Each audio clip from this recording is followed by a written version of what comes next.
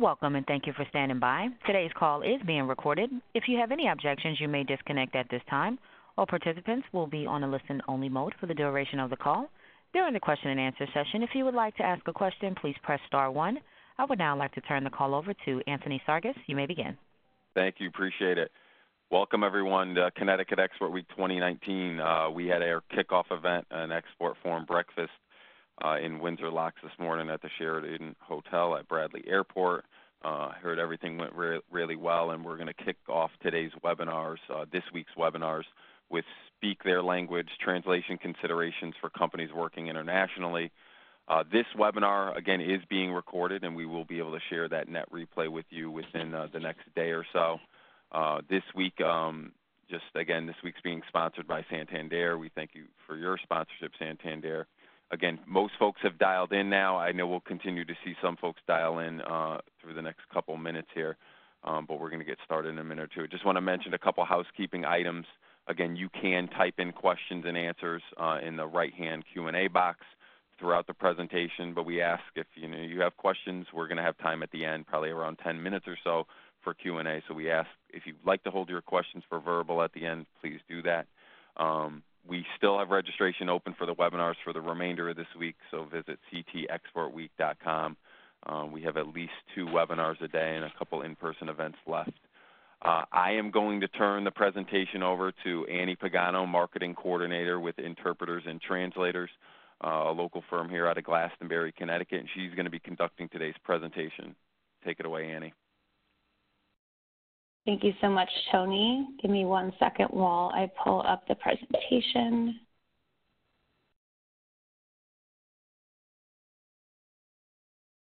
All right, good morning, everybody. Thank you so much for taking time out of your busy day to join me.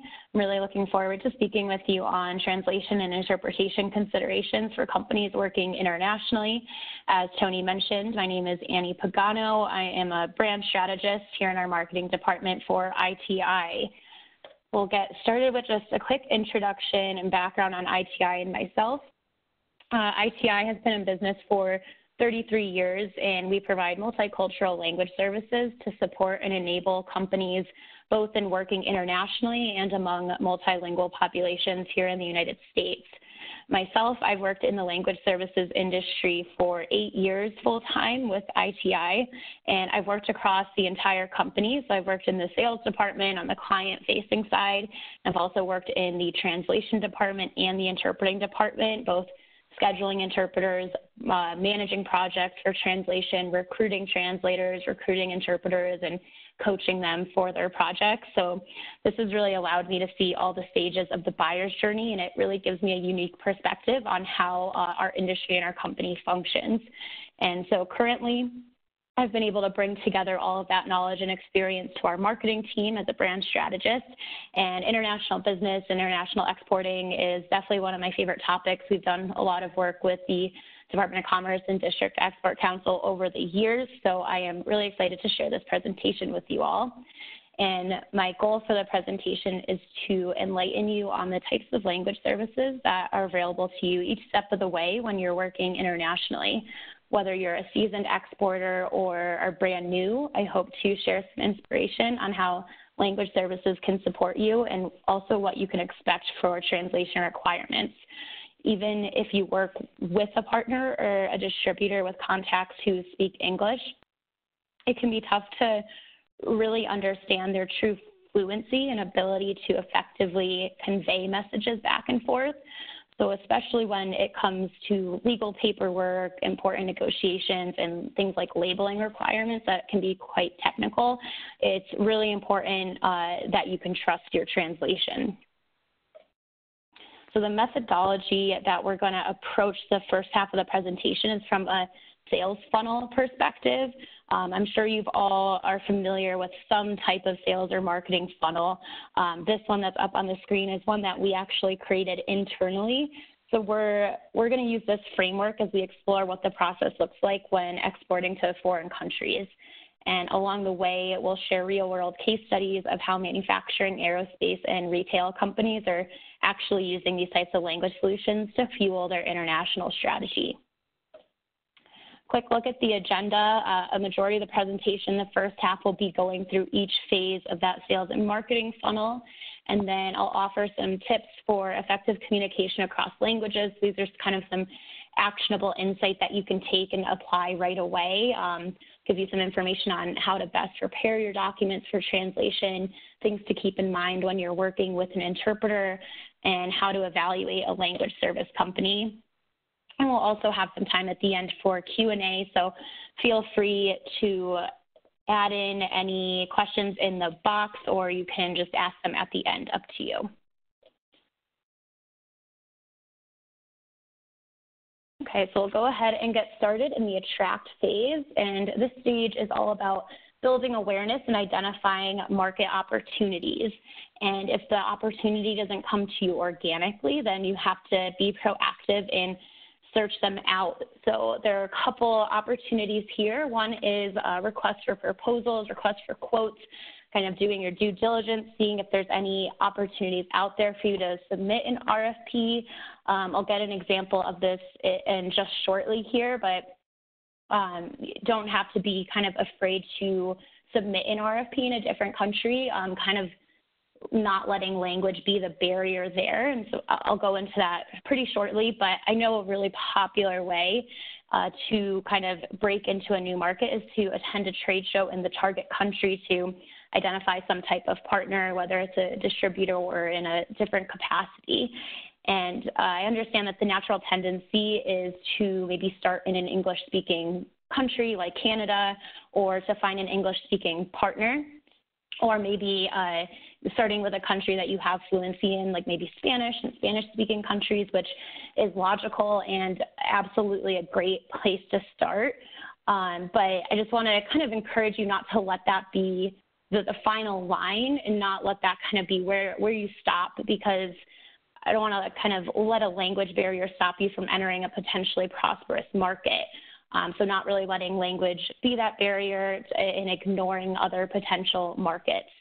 And while it does make sense to move into a country with a, a common language or find a partner that shares your native language, I want to caution you from putting all of your trust into that partner to to translate any of your materials or to kind of be your sole interpreter to translate back and forth between anyone else because that's kind of really giving all of your control away when you know they might be pretty comfortable conversing with you in English but you know when it comes to maybe technical terminology and when you're getting more into details and technicalities of the contracts or you're talking with different partners maybe from outside of their organization it's just that you don't really know how much you can trust their linguistic abilities.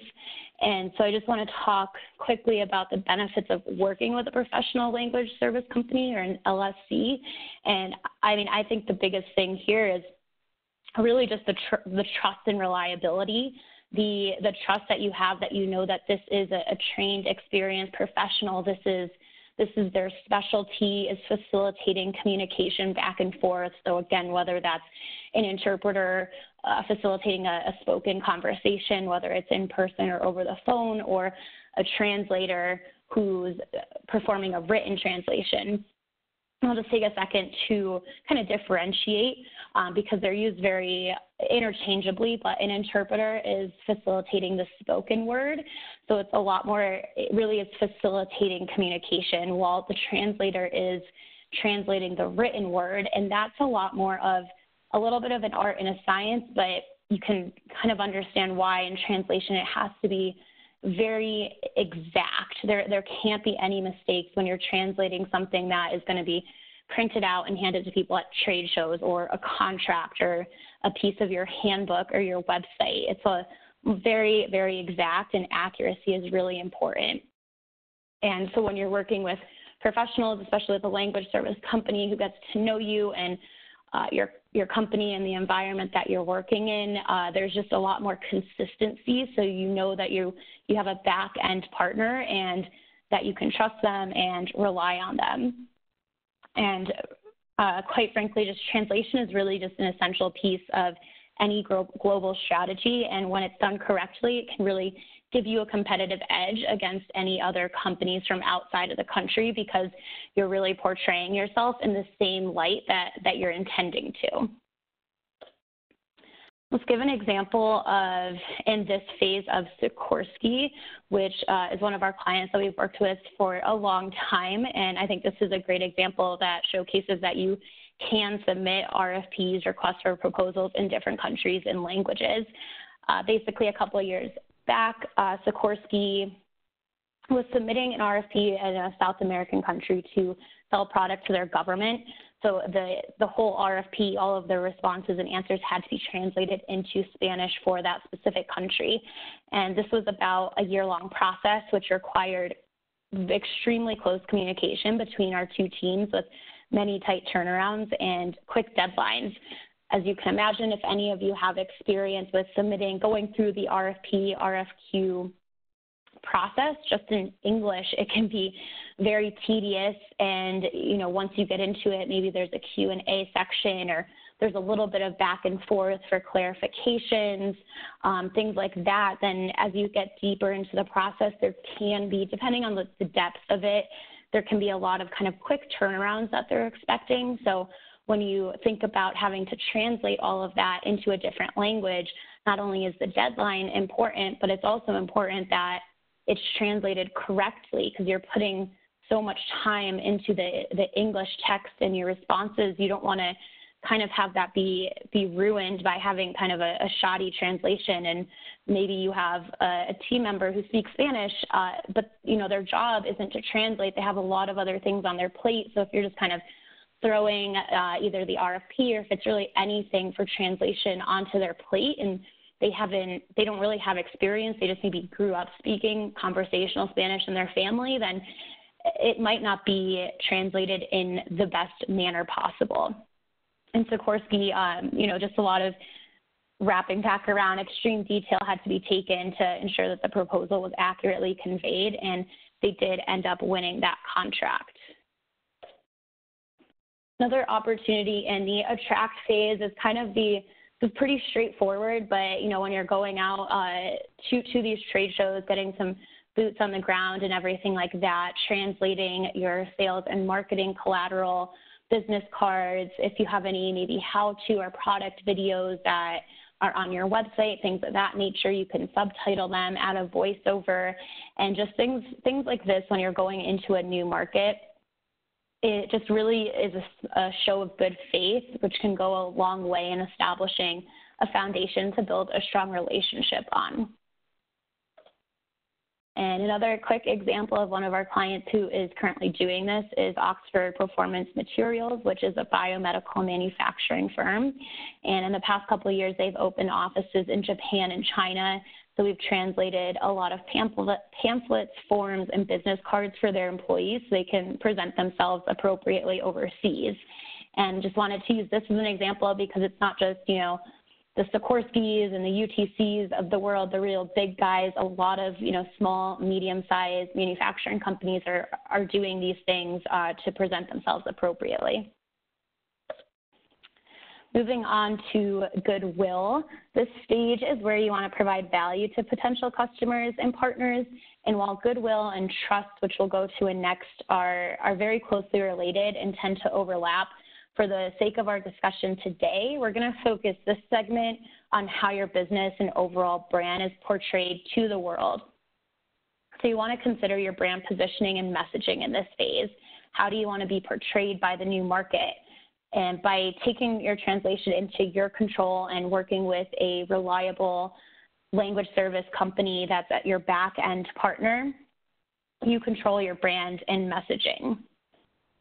So the main thing I want to focus on in this phase is your, your website because even if you you know, go to the trade shows, you're making in-person connections, maybe there's some referrals, Um, that you're meeting people. At the end of the day, once you kind of step away and you exchange information, they're going to go to your website. Your website really is the, the gateway, it's the, the face of your company.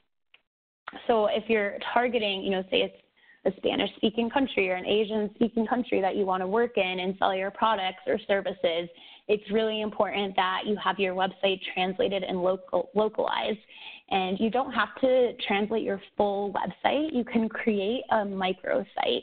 And what that is, is just taking the key pages that are applicable to that market and translating them. So, you know, maybe it's just your home page, about us, contact us, uh, maybe your services or your products. Maybe you have, you know, maybe you sell hundreds of different component parts, but only a small fraction of those would be applicable to this new market. So you don't have to translate every service or product page. Just pick the most important ones that are going to give you the biggest return on investment in this market and just translate that. So you can be really strategic about it.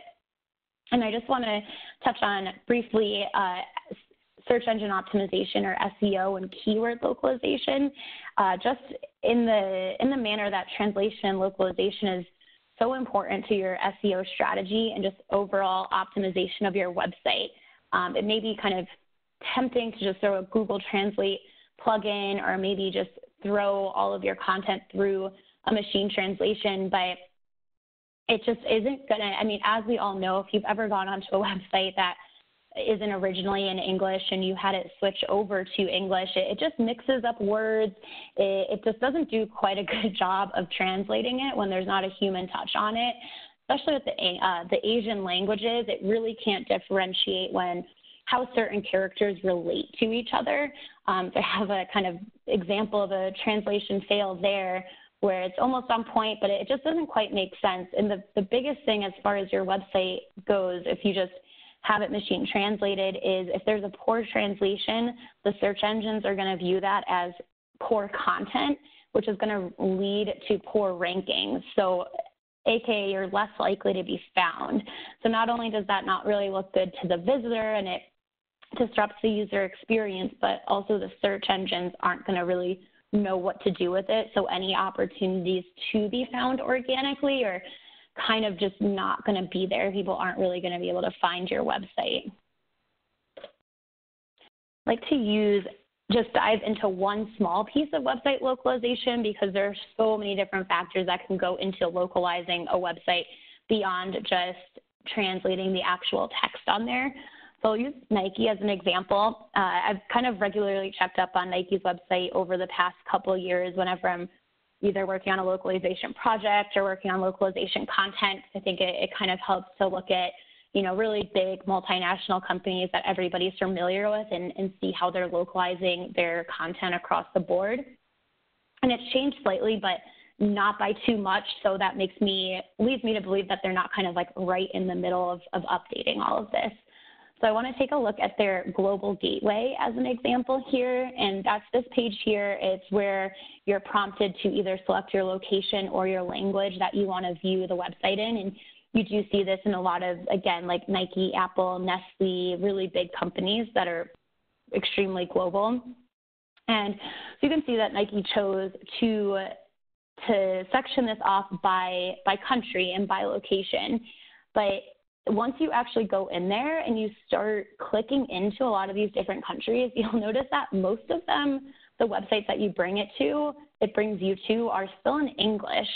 It's it's very it's very strange, and they did translate a lot of the the country names into the language that is spoken there, but not all of them. So they did half of them are translated into the native language, half aren't.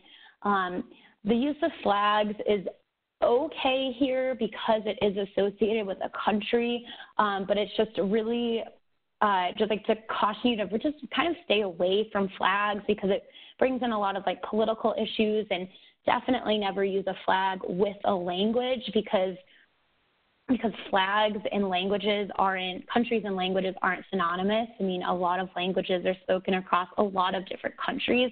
So the, the best thing here is to just really keep it simple. I mean, this disrupts the user experience. There's there's no reason to have it be so complex when a majority of these locations are still in English anyway.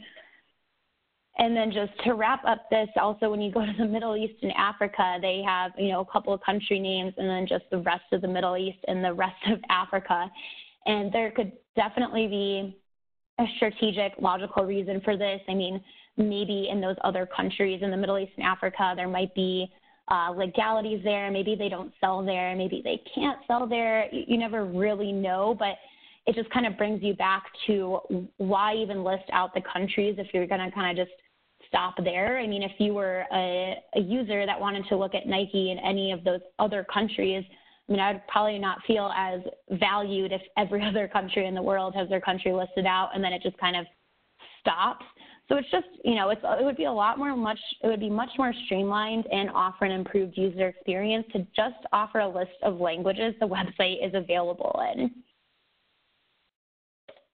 So the main point I want to get across here is with website localization, less is definitely more. Keep things simple. Uh, I could go on with tons of examples of elements to take into consideration for websites. I've done past presentations and webinars with the Department of Commerce just on website localization alone. I have a ton of content up on our website. So if you'd like to see the past presentation or want more details on this topic, um, definitely shoot me an email, Annie Pagano at ititranslates.com. I'd be happy to share any, uh, any content on that and give you some more details. Annie, and also, are you finished with website? I just have one question for you for website globalization. Uh, I have one more example, but I am wrapping up. So yeah, go ahead. Can you just mention? I know in previous presentations you've done with us the five percent rule that you typically mention. I think it's just kind of an interesting rule of thumb when you're considering oh, yeah. translation. Yeah, absolutely. Yeah, so the 5% rule, one thing when we're talking about website localization is when, you know, so you might be, you might have a country that you, you know you want to target, there's a good opportunity, but if you're maybe trying to identify a country to enter, you're still doing your research. One thing we recommend is to take a look at your Google Analytics, look at your website analytics, and it's, it's pretty simple. I'm sure someone on your marketing team, someone knows how to set that up and access it. Maybe yourself, it, will show you where the country of origin, where your visitors are coming from. So one thing that we suggest is this kind of 5% rule. If you notice that there's a country that is making up 5% or more of your website traffic, then that's something you want to take a serious look at because if it's already just in, you know, English and you have a lot of visitors from Chile or Argentina visiting, then you might want to seriously take a look at that market, maybe consider creating a little micro site in Spanish for that country, see if you can get some more traffic. And that's kind of how you can find some organic leads and maybe identify a market that you hadn't considered before. So thank you, Tony, for mentioning that. Yeah. And then also, I just want to quickly mention um, a grant that we just found out about. The Connecticut Department of Economic and Community Development offers a grant where you can get reimbursed for website translation. It's called the STEP grant. So there are great resources out there. If you have more questions, you can definitely reach out to Tony. But um, I think that's a really awesome resource that all of you can take advantage of and get reimbursed for website translation, maybe even some marketing materials to go to those trade shows and things like that. And then quickly, I just want to run through an example of someone who's doing a, a, good job with their website localization, which is Apple. And it's a really good example of kind of keeping things simple. So you can see on the left there is Apple's English website, and then on the right is Chinese. Uh, they're using a global template, so you can see they nothing is changing. A couple more examples. Nothing's changing except for the translation of the text. So, you know, the focus is all on the product. It's it's simple, neutral colors, an easy template, and it's just very simple. And that's that's a great way to do it. Keeps the the focus on the actual text. So now we'll move on to trust, which is the relationship building phase of the funnel. So you've made contact with a prospect and are conversing back and forth about how you can work together. First thing when you're starting to build a relationship is considering the culture that you're going to be working with. So, you know, really taking some steps to learn about the business culture that you'll be that you'll be working within uh, every culture, every country has kind of different business norms. So while it may be typical here in the United States to kind of go straight straight to business and business talk, a lot of other countries may require social activity or at least kind of discussing, getting to know each other on a personal level before discussing details of a, de- of a deal. And this is something that we kind of just offer inherently with our clients. Uh, we have dedicated account managers. You really get to know a small team within our company. And so if you have any questions, it's kind of all part of the just consulting and starting to work together. And we're also pretty flexible. If you'd like to create something more formal and a training for any of your team, then that's something that we can also offer as well. Also, uh, take a, uh, using interpreters for different meetings. So there's two modes of interpretation. There's consecutive, which is where the interpreter is facilitating communication between two parties where one party, you know, I would speak for, you know, maybe 30, 45 seconds and then pause, and then the interpreter interprets, and then the other party says what they have to say, pause. So their interpreter is kind of facilitating between the two, while a simultaneous interpreter is interpreting at the same rate as someone is speaking. And so this is really popular. You see this in a lot of conferences. This is also uh, used a lot in just maybe business presentations, uh, webinars like we're doing right now, web meetings. It can be used on a conference call. If it's anything that's remote, we would set up different channels for the interpreter. If it's in person, certain people who need the interpretation, then they would have a headset so there's some technology that's involved there, but um, that's a really great option. And and the main thing with interpreters, as far as you know, business meetings, um, conversations, negotiations, is you. It's just a neutral third party to facilitate the conversation. So they're they'll learn about what you're talking about. They can accurately convey it, but it's just completely unbiased, uh, which I think is a really big value add. And it's also kind of important to remember as you're, you know, moving through the stages of building this relationship that even if someone speaks English and, you know, you may have one contact who's really very fluent in English, but then they bring in maybe some of their business associates or partners who may not have that level of fluency. And even if they're pretty comfortable in conversational English, uh, they may be more comfortable conversing in their native language or their their level of English may not be as advanced to talk about the more technical high level subjects. So that's really something to keep in mind that there's there's different levels of fluency. And then lastly, just want to touch on product localization. So, you know, if you have an actual product, uh, you know, considering if it needs to be adjusted for the market that you're going to enter into, just kind of all things to keep in mind. And another thing with the, the product itself is considering maybe how the name translates.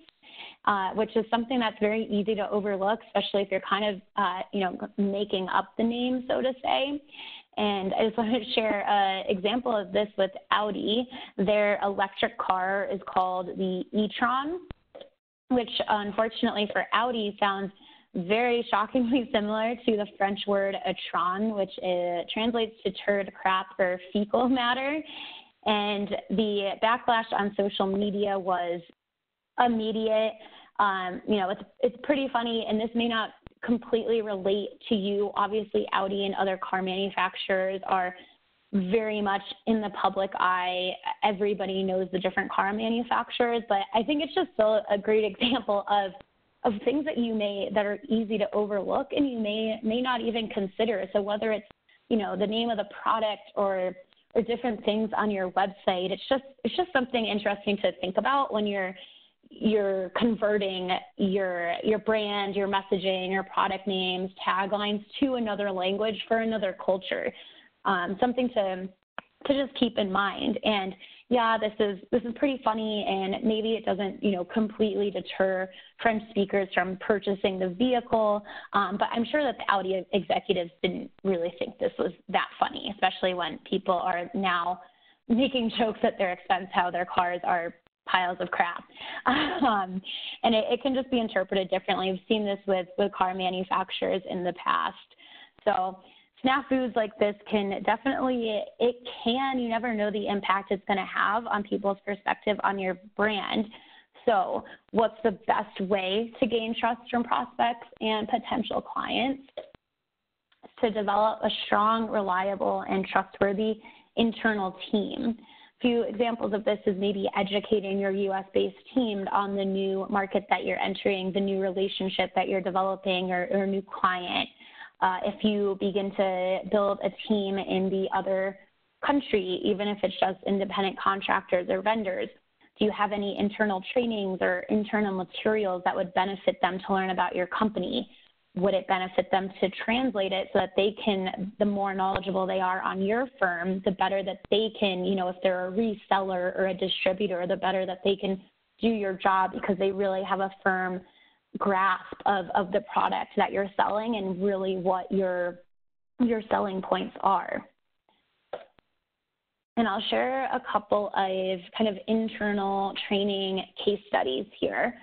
The first one uh, comes from actually one of my colleagues in one of her previous jobs. She was a corporate trainer for a company who did medical claims.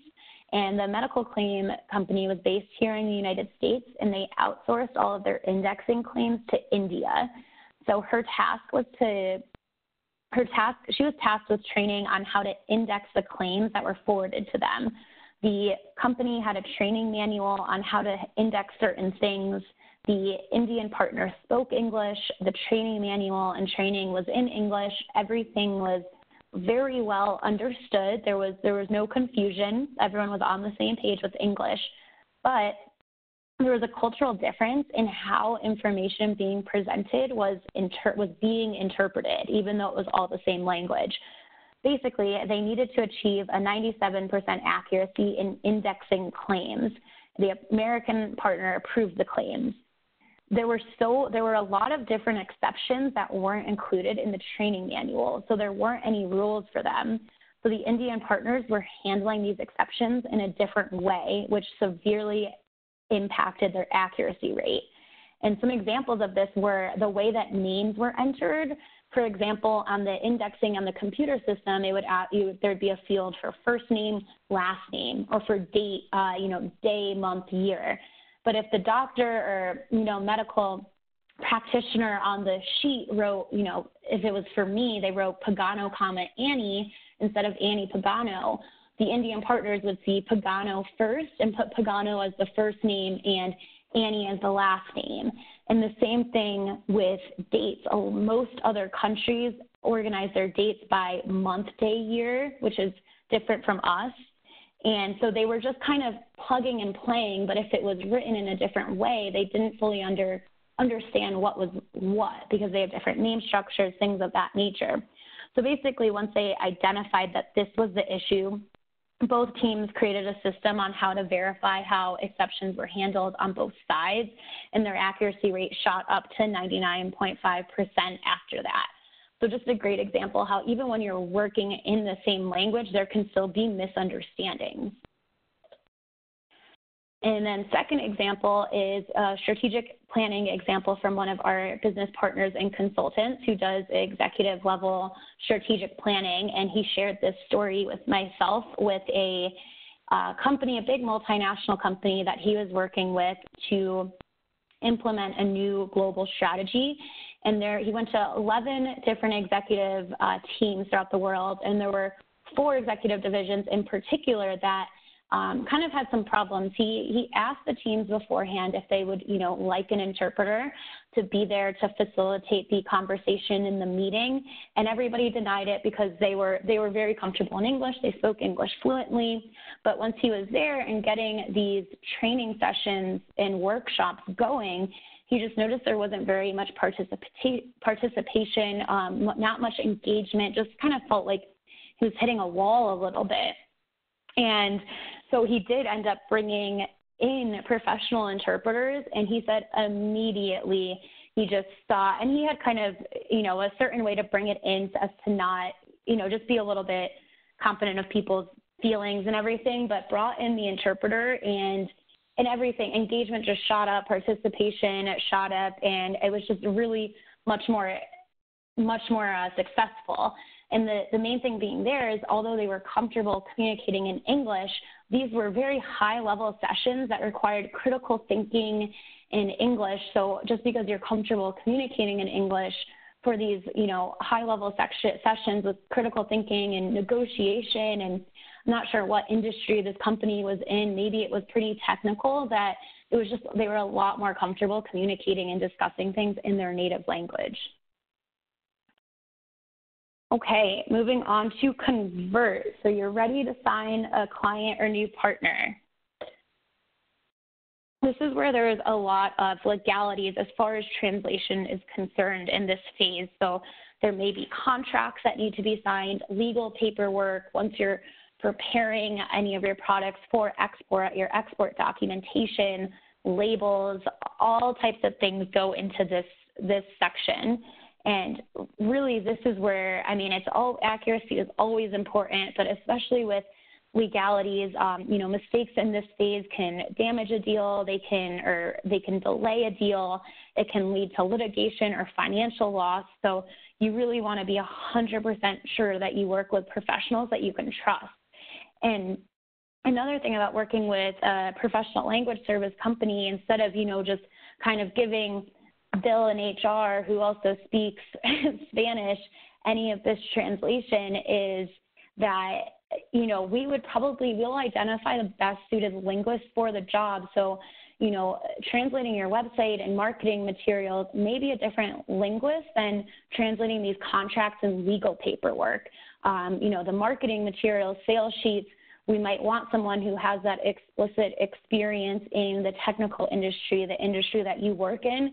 But on the contracts, legal paperwork, export documentation, we might want someone that has more of that legal experience that only does contracts, paperwork, does a lot of export documentation, things of that nature. So they, even within the specialty of translation, there's specialty translators for each different project that you may have. So I'll just share a couple companies that we do this for all the time is Sikorsky and Colt. Sikorsky, we're uh, constantly translating legal contracts for Middle Eastern and Asian countries, which enables them to pursue business deals and conduct proper negotiations in those countries. And Colt, we also translate all of their business contracts, and then once those deals close, we translate their operators manuals, conversion kits, maintenance manuals, which leads us really nicely into the final phase, which is delight. This is all about um, client retention, post sale, customer support, and service. So, really keeping our clients happy, setting them up for success.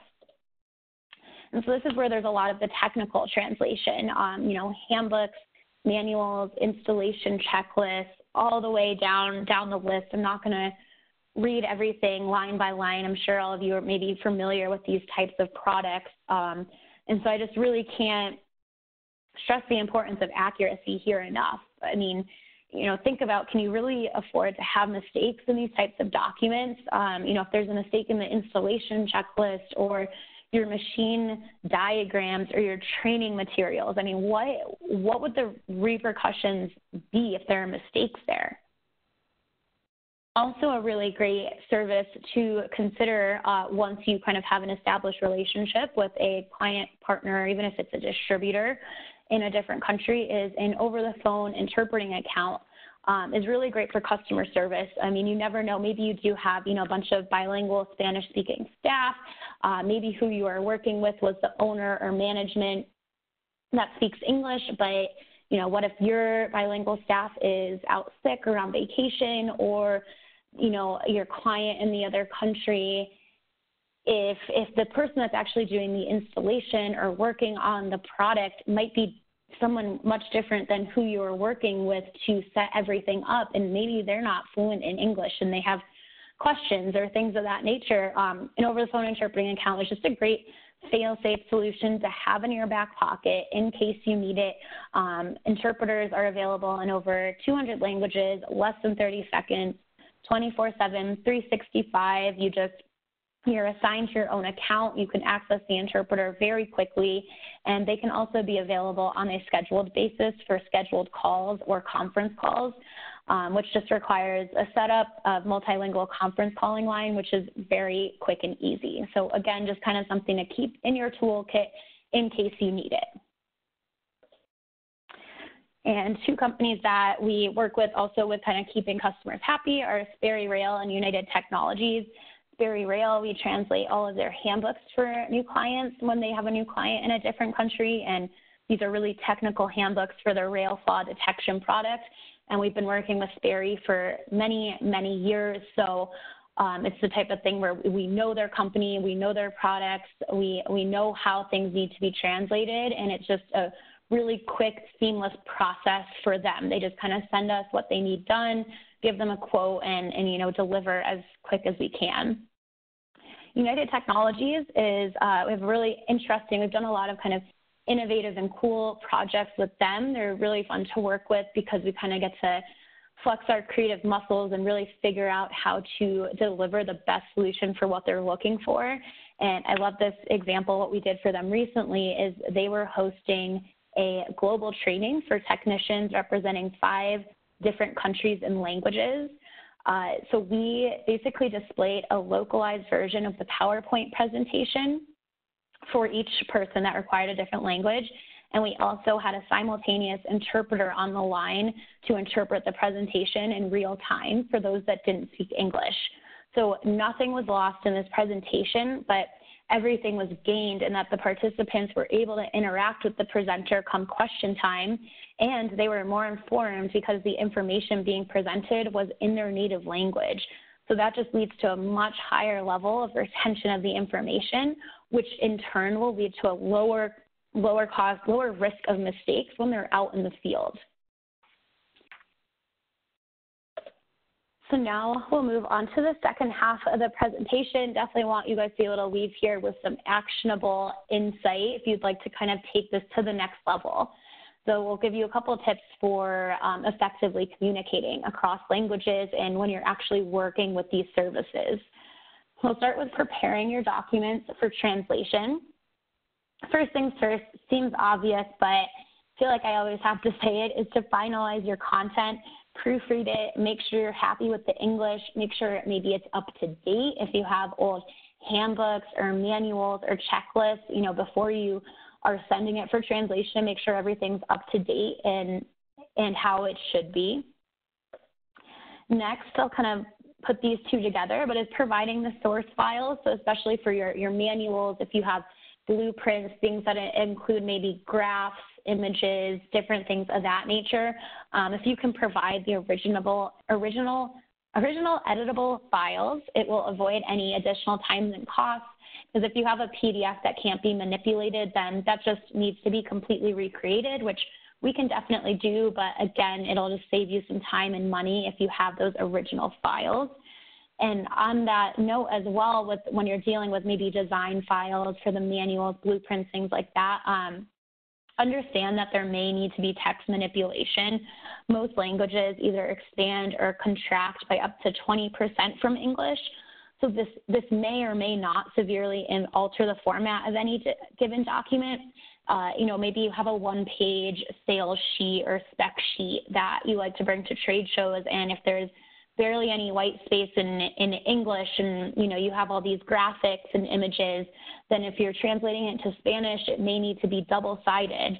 Or we can work with you to adapt the content to keep it to one page. But you know, it's just something I like to mention. There's always different solutions, but just important to, to know that when you're translating, it may not look exactly the same. And you know, if you have the original files, that would be best subject matter information, the more that you can prepare the team working on your translation with background information on the, the document, the project, and of your company as well.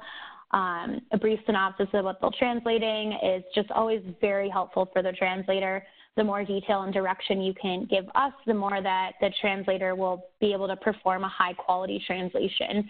There's, you know, there's a lot of different ways that you can say one sentence in just English alone. So when you're you're conveying that in a different language, there's there's different opportunities for a different word choice. So the more that we understand the environment that you're living and working in the, and how your company wants to present itself, then the better that we can accurately uh, convey that in the language, the target language.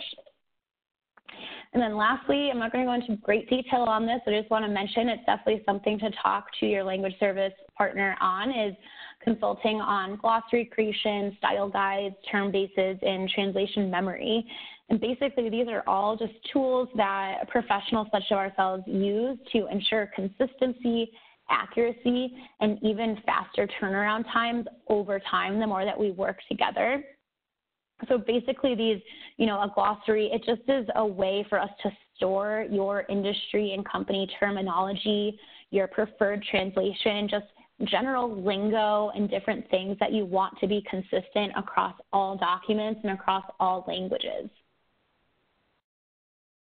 And we'll move into working with an interpreter. And I just want to preface this section by saying that this is when you're working with a consecutive interpreter. So when there's that kind of pause and they're speaking between you and another party.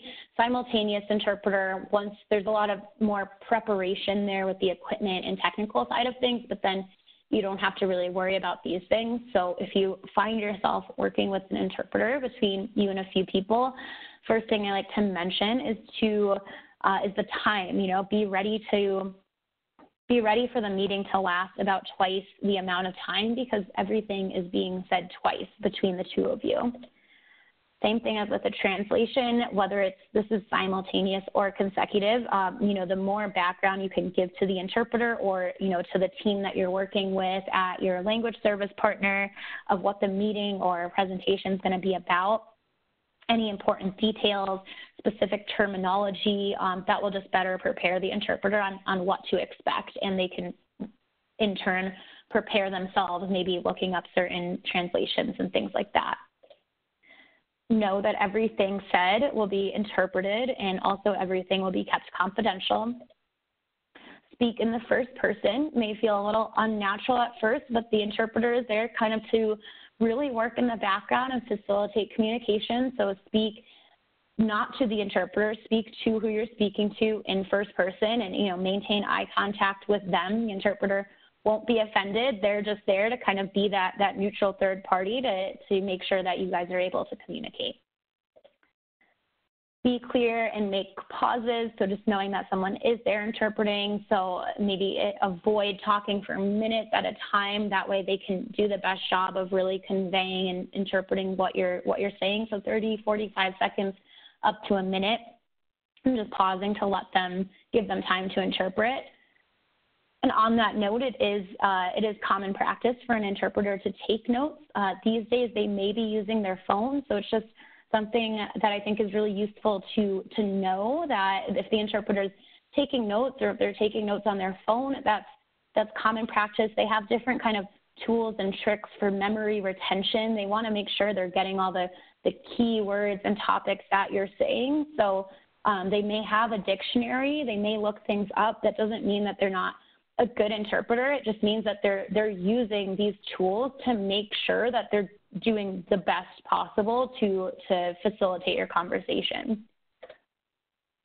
Sight translation, if you're you know, in a meeting or a conversation or, or an interview perhaps, uh, there may be some documents that are being passed back and forth, and interpreters can sight translate short informative documents, but no longer than a couple paragraphs, and they cannot sight translate legal forms or any kind of form that has legal ramifications, that really needs to be sent to your language service company that you're partnered with. That should be done by a professional translation. Um, that's just kind of against their code of ethics and really sight translation is just to help, you know, maybe there's a cover page in a paragraph, you're like, oh, what does this say? That's fine. But if a contract needs to be signed then and there, they they can't translate that contract on the spot that needs to be done a professional certified translation. And then lastly, just touching on um, the interpreters know this, just not leaving the interpreter alone. If they're there with you, they should stay there with you. Um, just part of their code of ethics uh, for liability reasons that, you know, if you step out of the room, they need to step out of the room. And again, just, just knowing the environment that you're working with and why maybe interpreters are doing what they're doing. I think it's important for people to understand when working with these services. And lastly, evaluating a language service company. So you know that you need these services. How do you kind of identify the right, the best suited partner to work with you? We suggest putting together a scope of work. So just kind of like you'd identify any other service provider, any other product. You want to do your due diligence, and this is really something that ideally, if you're, you know, exporting, starting this relationship in another country, it's someone you want to work with on a consistent basis. I mean, they're your partner in communication and in language, so you really they're going to be working together long term. So, you know, put together scope of work on the types of language the services you need, the languages and countries you anticipate requiring translation for, any kind of budget and time frame you may have, uh, any kind of volume estimate can kind of help as leverage when you're negotiating rates. And then once you have that together, you'll be able to assess the LSC's capabilities in regards to your scope. Lastly, I just wanted to leave you guys with some suggestions for questions to kind of get the conversation going. Um, some of these may be obvious, but just some uh, suggestions to really evaluate whether or not they're a good fit. Um, you know, talking about how long they've been in business, what's their reputation, how do they recruit linguists? Are their linguists trained? Do they require uh, ongoing training? What's their experience in your specific industry? Can you contact any of their references? What's their confidentiality policy? How do they handle quality assurance should anything go wrong? Um, how responsive are they, uh, not only in terms of you know, trying to sign you on as a, as a partner, but in terms of your request, providing quotes, scheduling an interpreter, there's, you know, like I said, there can be tight turnaround times. So are they are they reliable? Are they responsive?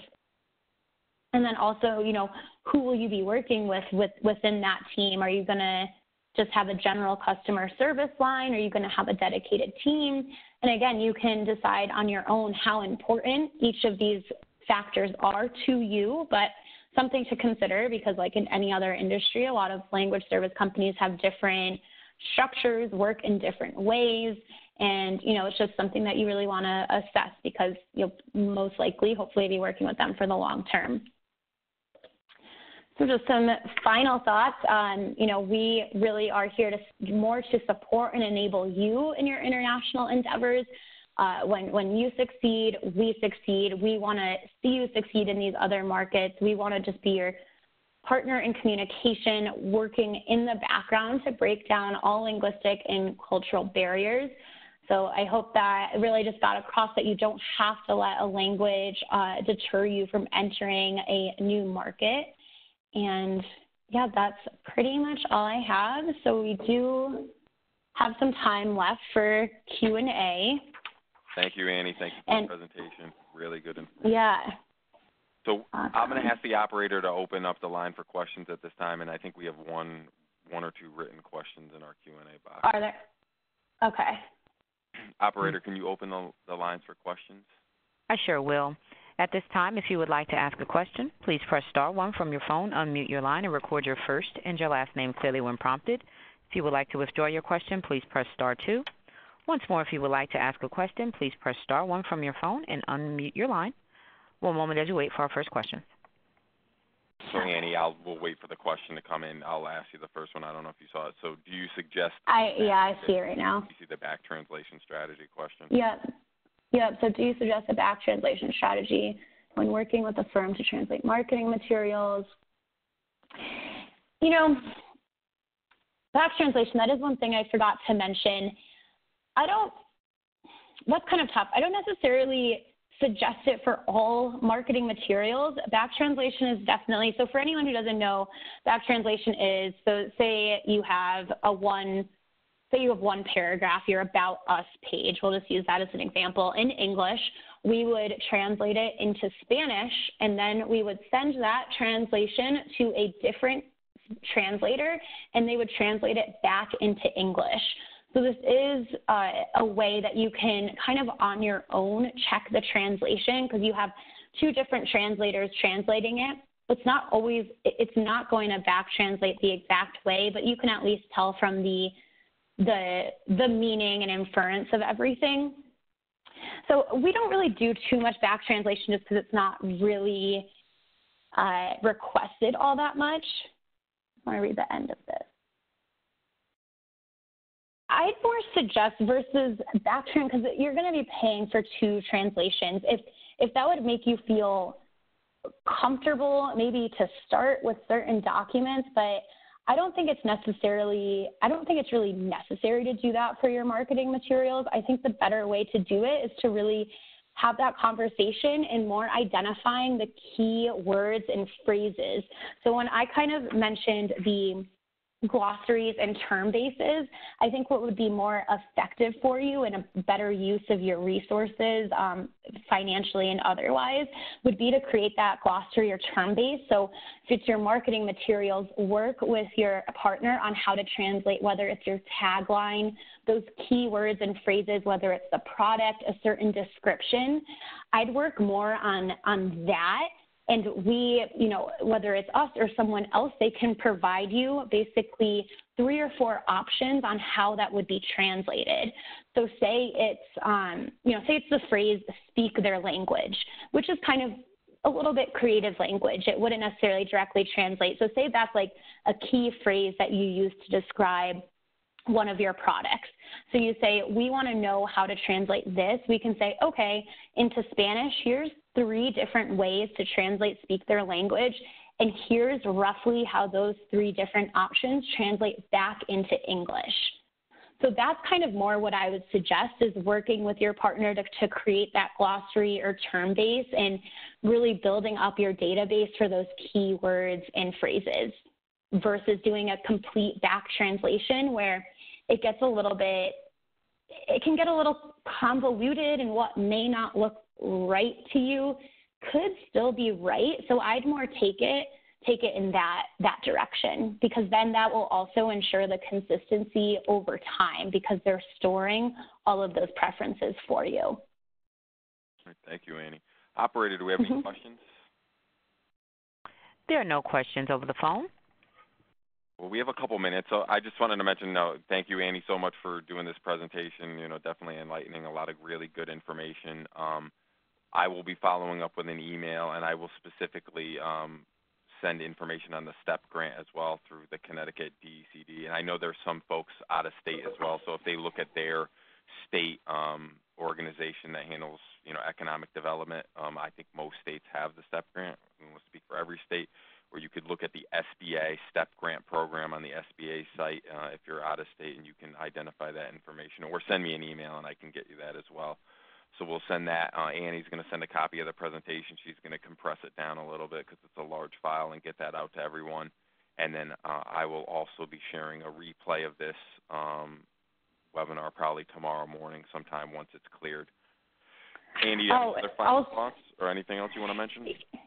Yeah, just the last thing that I forgot to mention, but um, yeah, Tony mentioned I will send, I'll, I'll compress the presentation and send it out to you, um, some more information on us. Also, if you'd like the la- the second half of the presentation with the preparing documents for translation and working with an interpreter, I have those, that section as a PDF that has a little bit more details, so more of what I spoke about versus just the bullet points. So if you would if you would like that, just you know just respond. It'll come directly from my email. Um, like I said, I have a ton of stuff up on our blog, past presentations. So if you want any more information on anything we touched on, definitely um, just you know reach out, start a conversation. We'd be happy to discuss it with you.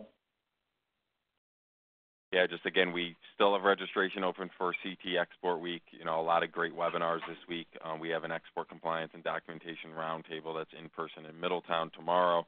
And then we have an in-person event, uh, Global Intellectual Property Considerations in Hartford on Thursday, and the rest of the week it's a bunch of webinars. Um, just wanted to thank Annie again. I will ask the operator one more time if there's any last questions. Any questions, operator? There are no questions in the queue. All right. Thank you, everyone, again for joining us for the first uh, webinar for Export Week. Thank you. Thank you all. Have a great day. Thank you for your participation in today's conference. You may disconnect at this time.